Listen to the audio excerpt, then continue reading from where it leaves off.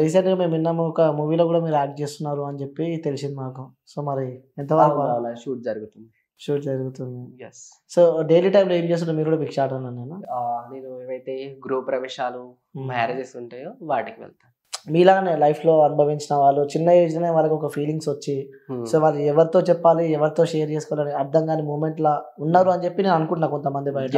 So బయటికి వెళ్ళాలంటే కూడా వాళ్ళు భయపడుతున్నారు. సో. మీరు ఎందుకంటే మీరు ఆల్రెడీ ఎక్స్పీరియన్స్ చేసినారు. సో లైఫ్ని ఒక ఇన్స్పిరేషన్ తీసుకొని మళ్ళీ సాగు దాకా నుంచి బయటకు వచ్చినారు. సో అలాంటి వాళ్ళ కోసం వాళ్ళ పేరెంట్స్ కోసం చెప్పాలి అంటే. సో నేను బెస్ట్ ఎగ్జాంపుల్ చెప్తాను. నేను నా ఇంటర్వ్యూస్ యూట్యూబ్లో చూసాడంటే తను. తను ఒక ఇప్పుడు degree first year Khammam district అబ్బాయిది. ఒక గవర్నమాట హాస్టల్లో చదువుతున్నాడు ఐ థింక్. రెసిడెన్షియల్ హాస్టల్ అనుకుంటా. హాస్టల్ చదువుతుండు.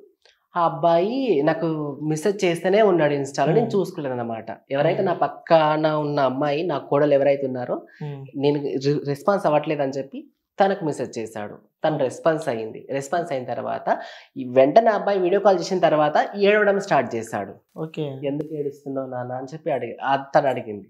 అంటే అక్క నాకు హెల్ప్ చేసే వాళ్ళు ఎవ్వరు లేరు. ఇప్పుడు కూడా నన్ను నా ఫ్రెండ్ నీ బతుకు బతికేనా అసలు? మీ బతుకు ఎందుకు బతుకుతారు? చీర కట్టుకోరా నువ్వు? కొజ్జల దాంట్లోకి వెళ్ళురా నువ్వు? చీర కట్టుకొని అక్కడ బతకాలి నీకు? ఇక్కడేం పని నీకు? నీ బతుకు వేస్ట్ సావురా అని చెప్పి అన్నాడు అక్క నన్ను అని చెప్పి ఏడవడం స్టార్ట్ చేశాడు. నా కోడలికి ఎక్స్ప్లెయిన్ చేశాడు. ఆ పాప వచ్చి నాకు ఇచ్చింది అత్తయ్య నేను ఇంటర్వ్యూ చూశాడంట. వాడు ఏడుస్తాడు అత్తయ్య వానికి పాపం ఏదో ఒకటి చెప్పత్తయ్య అని చెప్పి ఆ పిల్ల నాకు ఫోన్ ఇచ్చింది. నేను అన్నీ అడిగిన ఏమైంది నాన్న? అని చెప్పి ఇట్లా అడిగితే ఆ పిల్ల టోటల్గా ఎక్స్ప్లెయిన్ చేశాడు. అక్క నేను కూడా నీ ఫీలింగ్స్ లాగానే బాధపడుతున్నా నేను. నువ్వు ఎప్పుడైతే నువ్వు అబ్బాయిగా ఉండి ఏవైతే స్ట్రగుల్స్ ఫేస్ చేసావో యాస్టీస్ నేను కూడా అలాగే ఫేస్ చేస్తున్నాను. అని చెప్పా చెప్పాడు. చెప్పిన తర్వాత అప్పుడు నేనేం చెప్పాలి? భయపడకు భయపడకు నేనున్నా అన్ని చూసుకుంటాను నేను. ఒకవేళ నీ ఇంటికాడ నీ పేరెంట్స్కి చెప్పు నీ పేరెంట్స్ యాక్సెప్ట్ చేయకపోతే అప్పుడు నన్ను నన్ను మళ్ళీ అడుగు. ఒకవేళ నీకు అట్లాగే నీ క్లాస్ నుంచి నీకు అట్లాగే టార్చర్ అయితే గనక నీ ప్రిన్సిపాల్ దగ్గరికి వచ్చి నేను మాట్లాడతా. నేను మాట్లాడి ఆ ఎవరైతే నేను కామెంట్ చేస్తున్నారో ఆ అబ్బాయికి కౌన్సిలింగ్ అవుతుంది ప్లస్ నీకు కూడా కౌన్సిలింగ్ అవుతుంది నాన్న అని చెప్పి చెప్పిన. అక్క నేను మా పేరెంట్స్కి చెప్పాను. నా పేరెంట్స్ నన్ను యాక్సెప్ట్ చేశారు. యాక్సెప్ట్ చేశారు కానీ నువ్వు ఎక్కడ చీర కట్టుకొని బయటికి వెళ్ళకు. నువ్వు మాతోనే ఉండు. నువ్వు ఎట్లా ఉన్నా మాతోనే ఉండు.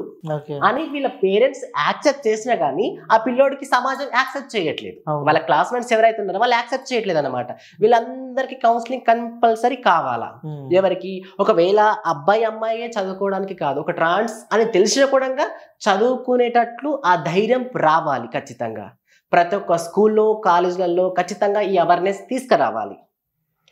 దీన్ని తీసుకురావడం వల్ల కనీసం ఎంతో కొంత మమ్మల్ని కాపాడిన వాళ్ళు అవుతారు.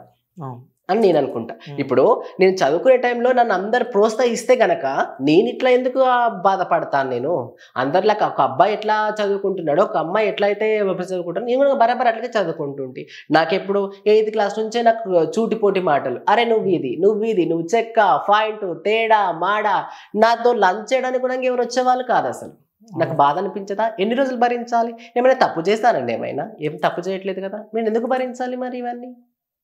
సో అట్లా. మీరు ఇదంతా ఇడిచిపెట్టేసి మీరు అది చేస్తున్నారు మీరు చీరలు కట్టుకుంటున్నారు మీరు సెక్స్ వర్క్ చేస్తున్నారు అంటున్నారు కానీ అసలు దీనికి కారణం ఎవరు అనేది మాట్లాడారు అసలు.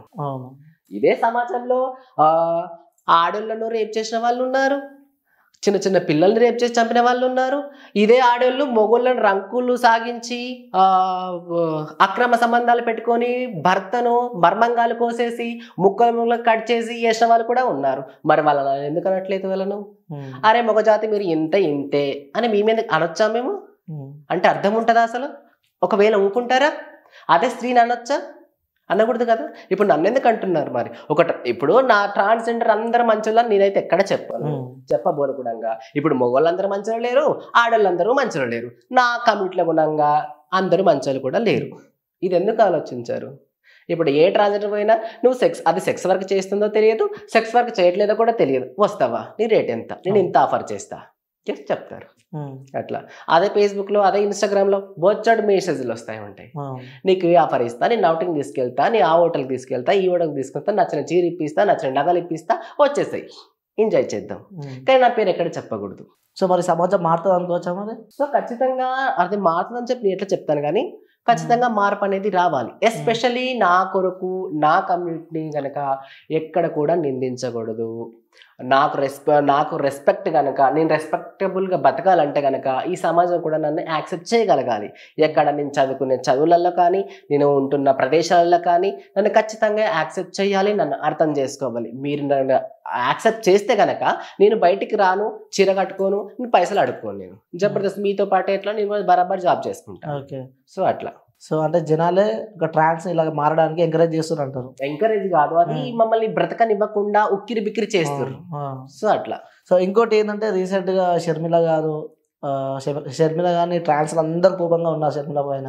ఎస్ ఎందుకోసం అసలు షర్మిల మ్యాటర్ ఎందుకంటే రాజకీయ స్వార్థాల కోసం స్వలా వాళ్ళ లా లాభాల కోసం గనక ఆ, వాళ్ళు ఇంకా అలా అనుకుంటా. దానివల్ల నా కమ్యూనిటీని ఇప్పుడు తను షర్మిల గారు ఏమన్నారు? హామీలు ఇచ్చి నెరవేర్చని మీరు కొజ్జవాళ్ళు. హామీలు ఇచ్చి నెరవేర్చని వాళ్ళు మీరు కొజ్జవాళ్ళు అని చెప్పి కొజ్జా కొజ్జా కొజ్జా అని చెప్పి దాదాపు ఆమె సెవెన్ ఎయిట్ టైమ్స్ ఆ వర్డ్ యూజ్ చేసింది. అంటే చేతగాని వాళ్ళు కొజ్జవాళ్ళు. చేతగాని చేత కాదు కాబట్టి కొజ్జవాళ్ళు. అంటే మీరే నన్ను చెప్తున్నారు కదా ఒక రాజకీయ నాయకురాలు అయ్యండి ఒక పార్టీకి అధినేత అయ్యుండి నువ్వు అలా మాట్లాడొచ్చా? ఇంతకు ముందు ఏమైంది? శంకర్ నాయక్ మహబూబాద్ ఎమ్మెల్యే శంకర్ నాయక్ గారు ఈ ఈ మాట అన్నారన్నమాట. కొజ్జా అనేవాడు యూజ్ చేయడం వల్ల ఈ షర్మిల గారు దానికి రివర్స్ కౌంటర్ వేసింది. కౌంటర్ వేసింది కానీ ఇప్పుడు శంకర్ నాయక్ ఎవరైతే ఉన్నారో ఇప్పుడు తను ఒక్కసారి అనొచ్చు కానీ ఈమె ఎన్నిసార్లు ఎన్నిసార్లు మాట్లాడింది ఆ వర్డ్ అంటే ఇక్కడ తెలంగాణ అని చెప్పి వదిలిపెట్టి ఇక్కడ ఆంధ్ర అని చెప్పి పట్టుకున్నారు అని చెప్పి కూడా వినిపిస్తుంది వైఎస్ఆర్ షర్మిల పార్టీ వాళ్ళు. అలా కాదు. శంకర్ నాయక్ తెలంగాణ తెలంగాణ వాడు. కాబట్టి ఈ షర్మిల ఆంధ్ర నుంచి వచ్చింది కాబట్టి.